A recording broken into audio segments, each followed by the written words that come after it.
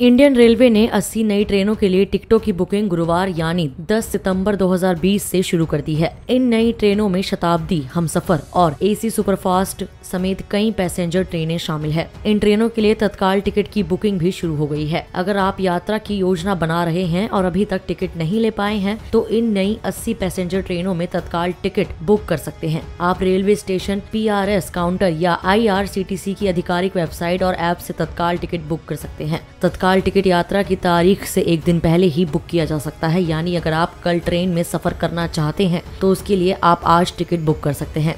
हालाँकि कुछ चुनिंदा गाड़ियों में तत्काल ई टिकट यात्रा की तारीख से एक दिन पहले ट्रेन चार्ट के तैयार होने तक बुक किया जा सकता है। तत्काल टिकट बुक करने का समय तत्काल बुकिंग ट्रेन के प्रस्थान करने से एक दिन पहले सुबह दस बजे से बुक कर सकते हैं। इसमें एसी क्लास के लिए दस बजे बुकिंग शुरू होती है और नॉन एसी क्लास के लिए ग्यारह बजे शुरू होती है। बता दें कि एयर कंडीशनर प्रथम श्रेणी वन एसी को छोड़कर सभी वर्गों में तत्काल टिकट बुक किया जा सकता है। कन्फर्म तत्काल टिकट रद्द करने पर कोई रिफंड नहीं मिलता है। एक तत्काल टिकट या पीएनआर पर अधिकतम चार यात्रियों के लिए सीट बुक कर सकते हैं। साथ ही तत्काल बुकिंग में किसी प्रकार की कोई छूट नहीं दी जाती है, यानी आपको किराए के पूरे पैसे चुकाने पड़ते हैं। इस वीडियो में इतना ही। मैं कोमल, पंजाब केसरी, दिल्ली से। अगर आपको हमारी ये खबर जानकारी पूर्ण लगे तो हमारे Facebook page Punjab Kesari dot com को लाइक करें। और अगर आप हमारी ये वीडियो यूट्यूब पर देख रहे हैं तो हमारे channel Punjab Kesari dot com को सब्सक्राइब करना ना भूलें।